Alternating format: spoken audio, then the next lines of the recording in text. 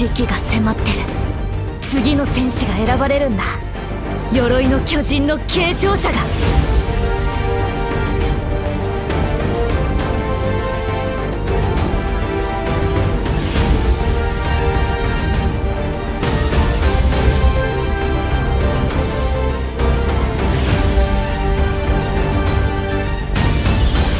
今の俺にはわかる。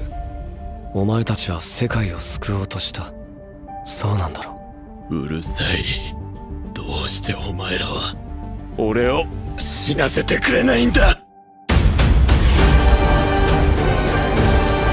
始祖ユミルの出現から今日に至るまでどれほどの命が巨人に奪われたことでしょう。しかし近年その平和思想は淘汰され始祖の巨人はパラディ島に住むある者に奪われましたその名はエレン・イエーガー。